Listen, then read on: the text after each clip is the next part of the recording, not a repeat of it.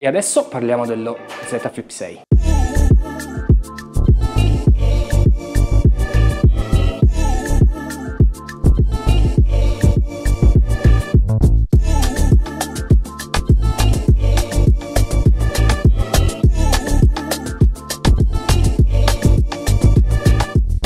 Chiederete perché inizia la recensione dello Z Flip 6 con un Motorola Razr 50 Ultra in mano? Perché lo so, io vi conosco, penserete subito a lui quando vi parlerò delle caratteristiche del nuovo pieghevole di Samsung, ma vi dico una cosa, se avete visto la mia recensione del Razr 50 Ultra lo saprete. Il mio sample, così come quello di Guerz e di altri miei colleghi, ha un problema con il sensore di prossimità che lo rende praticamente quasi inutilizzabile in chiamate e con i messaggi vocali. Ho parlato con Motorola, mi hanno detto che uscirà un aggiornamento per risolvere il problema, ma se io non vedo non credo, quindi finché non uscirà questo aggiornamento, non farò confronti, fatemi sapere se volete un confronto tra l'altro tra i due smartphone e in questa recensione non lo prenderemo tanto in considerazione. Ma adesso parliamo di lui perché sulla carta lo so che voi penserete che le novità che introduce non sono tante.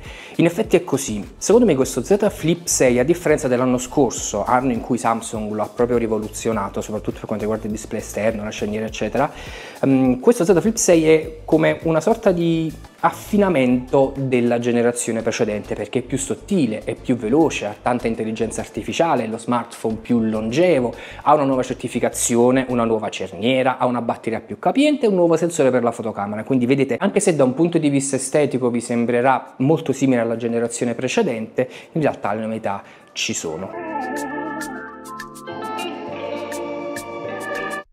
Ora parliamo del design. Come vi ho detto, da un punto di vista uh, estetico, a prima chitto, questo smartphone sembra molto simile alla generazione precedente, ma secondo me non lo è. Non lo è perché le cornici che sono in armor aluminium sono molto più nette, il che a mio avviso migliora il grip, è più facile da impugnare, cambiano i colori che questa volta diventano opachi, sia le cornici che la cover posteriore sono opache, a me questa colorazione piace dav davvero tantissimo, però forse mi piace di più quella verde. Comunque i colori di quest'anno sono veramente uh, belli. Inoltre quest'anno Samsung attorno alle fotocamere ha messo questi ring colorati che riprendono il colore dello smartphone. A me piace di più rispetto all'anno scorso. È pur vero però che visto così, visto con lo schermo esterno acceso, sembra praticamente identico al flip.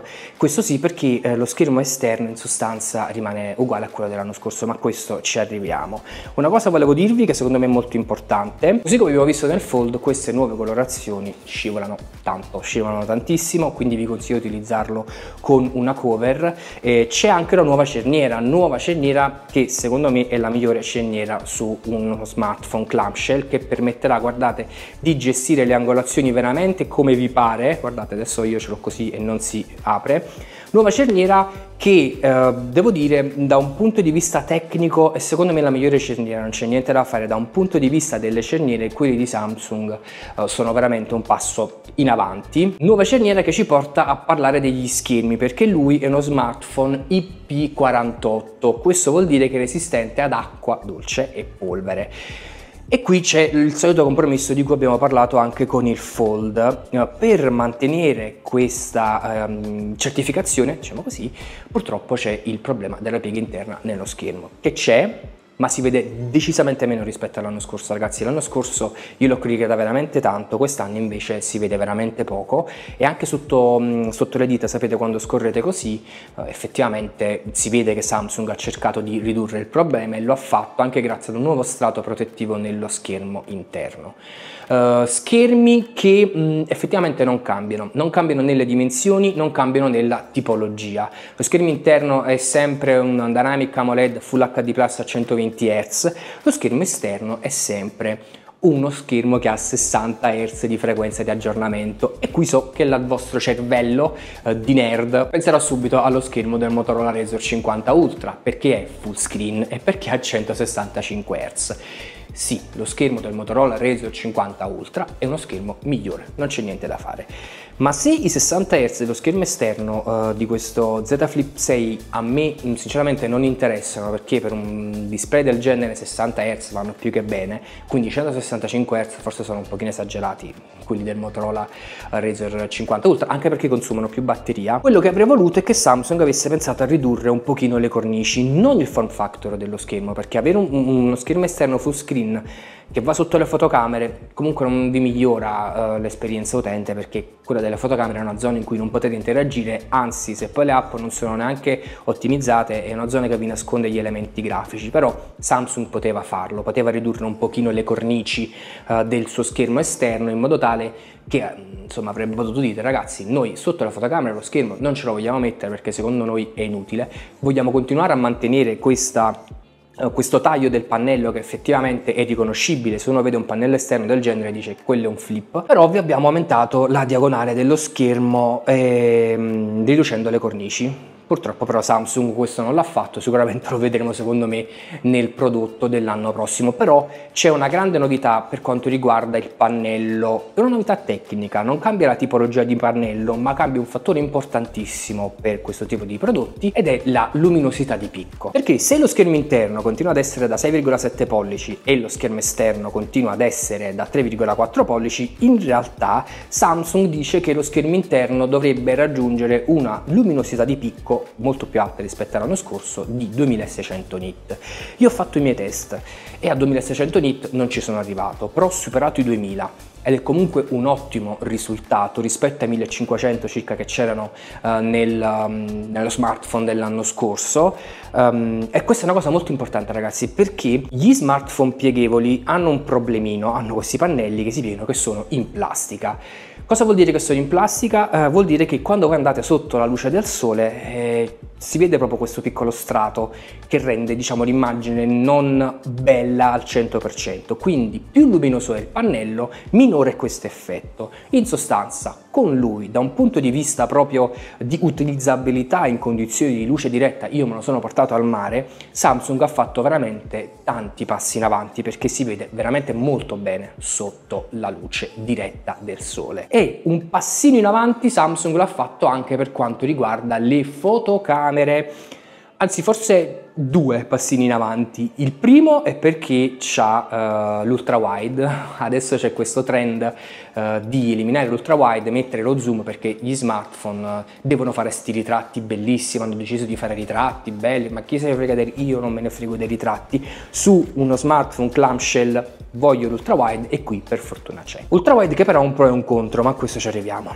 Il secondo pro è che cambia il sensore principale. Adesso è 50 megapixel ed è un sensore nettamente diverso rispetto ai 12 megapixel dell'anno scorso. È un sensore inoltre che grazie alla sua risoluzione e anche alla sua qualità uh, vi permetterà in sostanza di avere tre fattori di ingrandimento uh, buoni, utilizzabili, cioè di buona qualità perché con il pixel binning riuscirete ad avere uno zoom 2x veramente buono con la fotocamera principale. Adesso, le fotografie scattate con la fotocamera principale di questo flip sono veramente molto buone, la gamma dinamica è gestita egregiamente, i colori sono molto naturali, in condizioni di controluce comunque riesce a gestire bene i chiari scuri, le ombre, vengono foto veramente belle e così anche di notte. Devo dire che la gestione proprio di tutta la modalità notturna con il sensore principale è veramente molto buona. Samsung ha fatto bene a cambiare il sensore della fotocamera principale. Il contro del sensore dell'ultra wide che rimane lo stesso identico sensore dell'anno scorso. Non ci sono tante novità per quanto riguarda l'ultra wide se non quella dell'elaborazione software che quest'anno secondo me è migliore rispetto agli anni precedenti. E questo divario si vede soprattutto di notte, vedete io vi sto facendo vedere dei sample con uh, pochissima luce, veramente pochissima luce perché io li spremo proprio sui sensori e vedete che la differenza tra i due sensori insomma è notevole. Uh, la fotocamera frontale è buona, inutile che stiamo lì a parlare perché i selfie ve li farete con uh, l'ultra wide della fotocamera principale utilizzando ovviamente lo schermo esterno. Buoni video che possono essere registrati in 4K a 60 frame per secondo con tutte le fotocamere e che hanno un'ottima stabilizzazione, migliore rispetto a quelle che abbiamo visto nel, uh, nel Motorola per esempio. E così come nel Motorola anche in questo Z Flip 6 c'è una nuova modalità camcorder con la quale voi impugnando lo smartphone così e mettendovi a registrare un video avrete l'anteprima qui e avrete qui una piccola interfaccia con la quale eh, potrete gestire la registrazione e lo zoom con il pollice. È una cosa che mi piace? No, è una cosa che io personalmente trovo molto scomoda Uh, però effettivamente il fattore nostalgia è sicuramente assicurato. E veniamo quindi all'hardware perché qui ci sono tante novità. Snapdragon 8 di terza generazione for Galaxy, identico a quello che abbiamo visto nello Z Fold 6, 12 GB di RAM, 256 o 512 GB di memoria interna. Ragazzi, è uno smartphone con cui potete farci di tutto. È uno smartphone che ha un hardware da top di gamma Punto. Quindi è inutile che stiamo qui a discutere troppo di queste cose. La vera novità, ragazzi, però sta eh, nel sistema di gestione delle temperature. Adesso, lui è il primo flip, il primo smartphone con questo form factor ad integrare una camera di vapore. E voi direte che me ne frega della camera di vapore? No. Pensateci, è importante perché cosa fa questa camera di vapore? Prende il calore, diciamo cerca di ridurlo un pochino e poi lo butta fuori dallo smartphone in modo tale da gestire le temperature che sono altissime di questo nuovo processore di Qualcomm. Questo vuol dire che lui riscalda. Riscalda rispetto alla generazione precedente, secondo me scalda di più e scalda soprattutto qui nella zona dove sta lo schermo esterno. Adesso è un riscaldamento che tende a ridurre le prestazioni dello smartphone? No, è un riscaldamento buono, è un riscaldamento che butta fuori il calore, quindi gestisce meglio le temperature interne. Questo però non esclude che eh, il Flip 6 eh, so, non soffra di thermal throttling perché ne soffre più del Fold e quindi diciamo che in linea generale nonostante abbiano lo stesso hardware sul Fold le prestazioni eh, sono migliori per più tempo, ecco diciamo così. Qui invece un po' di thermal throttling c'è, però ragazzi stiamo parlando di un prodotto dalle ottime prestazioni. Tornando a cose più normali, l'audio in capsula è veramente molto buono. Non ho notizie ufficiali circa quello che vi sto per dire, ma secondo i miei test utilizza un sensore di prossimità virtuale che però è tarato così bene che voi non noterete neanche la differenza, quindi fate finta che ne ha uno, uno vero perché non vi darà nessun problema con niente. Buono la ricezione della rete cellulare, ormai Samsung è su livelli molto alti, così come l'audio stereofonico che eh, si sente veramente molto bene. Inoltre è sempre ottima la connessione alle reti wifi. Sensore per impronte digitali sempre posizionato nel tasto d'accensione, sempre veloce. Da un punto di vista hardware lui non ha niente eh, da invidiare agli ultra premium phone, ai top di gamma, è un top di gamma a tutti gli effetti. E lo è anche dal punto di vista del software, perché è il flip più longevo di sempre. 7 anni di aggiornamenti eh, di major update e 7 anni di aggiornamenti aggiornamenti di sicurezza. Rimane sempre la domanda, riuscirà a, a resistere 7 anni di aperture e chiusure? Chi lo sa, però da un punto di vista di politiche di aggiornamenti Samsung sta facendo lavoro egregio. One UI 6.1.1 a personalizzare Android 14 tutto quello che abbiamo detto per il fold vale anche per il flip, quindi ci sono tutte le modalità per l'utilizzo dello smartphone da piegato, c'è la modalità che vi permetterà di spostare qualsiasi applicazione nella schermata superiore del dispositivo. Ora, proprio come nel fold, quindi il punto centrale proprio del dispositivo è la nuova Galaxy AI. Galaxy AI che punta tutto sulla intelligenza artificiale generativa. Potrete per esempio disegnare un, a mano libera uno scarabocchio, l'intelligenza artificiale lo interpreterà e vi creerà delle immagini in base a diversi stili molto più realistiche che devo dire che funzionano molto bene Potete per esempio disegnare su una foto, quindi non è che sono andato a cancellare gli elementi di disturbo, questo già c'è eh, nella vecchia versione della Galaxy AI, ma potrete disegnarci e l'intelligenza artificiale vi creerà proprio un'immagine molto realistica certe volte eh, di ciò che avete disegnato. C'è per esempio il nuovo traduttore che è veramente molto comodo, adesso che vado in Cina per un altro brand a fine agosto voglio provarlo perché in sostanza voi mettete lo smartphone così, l'interlocutore vedrà la sua lingua letta qui e voi vedrete eh, la vostra lingua letta nello schermo interno, quindi è una cosa molto comoda. Un'altra novità sta nel traduttore delle chiamate che adesso a differenza di quando accadeva prima che ehm, era utilizzabile solo con l'applicazione telefono, adesso invece eh, Samsung l'ha aperto anche ad applicazioni di terze parti. Quindi ragazzi ancora una volta io non voglio ripetermi perché Uh, lo dico spesso e spesso alcuni di voi sono d'accordo, alcuni di voi invece un pochino meno, ma da un punto di vista software loro stanno avanti anni luce rispetto a tutti gli altri brand, non c'è niente da fare. Fatemi sapere cosa ne pensate nei commenti. Ci sono novità poi anche per la batteria che passa a 4000 mAh ed è una batteria che è più grande del, dell'anno scorso leggermente, che gli dà la migliore autonomia nella storia dei flip e vi permetterà di arrivare con un utilizzo intenso a fine serata. Va detto però che c'è sempre uno Snapdragon 8 di terza generazione questo vuol dire che arriverete sia a fine serata utilizzandolo parecchio, però diciamo che ci arriverete con un 10 un 8%, insomma questa è stata la mia esperienza. E se in vacanza vi mettete a fare 7000 video e foto non ci arrivate a fine serata, non c'è niente da fare, però devo dire che considerando che c'è la camera di vapore, considerando uh, insomma il form factor del prodotto, Samsung è sulla buona strada, non è ancora in grado di competere con le batterie che per esempio produce Honor, quelle sono sottilissime, danno una grande capienza, ma io sono convinto che ci arriveranno, fatto sta che l'autonomia non sarà un problema con questo dispositivo però forse potrebbe essere la ricarica perché rimane la ricarica a 25 watt cablata quindi non c'è una ricarica veramente veloce.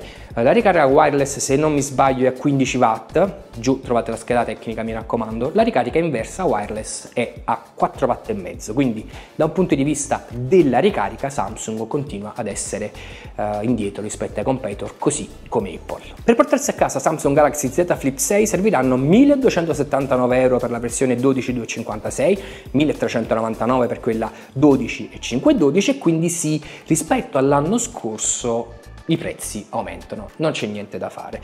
Però non venite a dirmi che è un prodotto uguale a quello dell'anno scorso, non venite a dirmi che non ci sono novità, perché le novità ragazzi ci sono e sono tante. Secondo me ultimamente eh, si, si, considera novità solo una novità estetica, ma da un punto di vista hardware, a, a, insomma, a prescindere da un paio di cosette come il sensore per, um, dell'ultra oppure lo schermo esterno, eccetera, ragazzi è uno smartphone decisamente migliore rispetto alla generazione precedente. Questo però non vuol dire che se avete uno Z Flip 5 vale la pena aggiornare, secondo me no, secondo me non vale la pena aggiornare rispetto allo Z Flip 5, però se volete un prodotto con questo form factor che vi dia prestazioni da top di gamma e che abbia una buona autonomia che è migliore rispetto a quella del Razor, una, una buona fotocamera che secondo me è migliore rispetto a quella del Razor, lui è veramente un ottimo affare. Poi se avete possibilità di fare un buon trade-in, allora lì potete farci un pensierino. Va detto che comunque sia il Razor 50 Ultra che questo Flip eh, 6 sono ottime alternative ma sono alternative che secondo me si rivolgono a ehm, come dire, tipologie di utenza diversa ed è bello che il mercato sia arrivato a questo. Ad ogni modo fatemi sapere cosa ne pensate nei commenti, se vi va iscrivetevi al canale, attivate la campanella, io sono Dario Caliendo e ci vediamo al prossimo video su Jitsu.